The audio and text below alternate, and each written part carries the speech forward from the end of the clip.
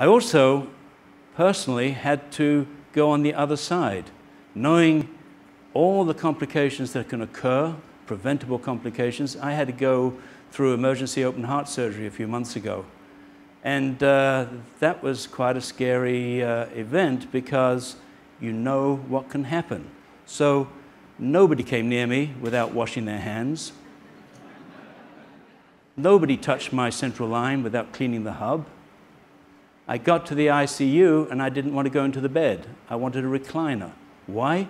Because I could get up from a recliner. In a bed, you're sick and you're going to stay there. Whereas in a recliner, you're not sick. So I was up two hours later. I, Ari, I didn't get blood. I told them, not unless I'm dying am I going to get blood.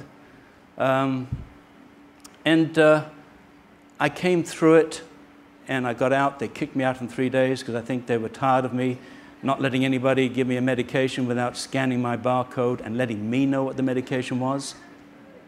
I actually avoided opioids and came through it. It wasn't too bad.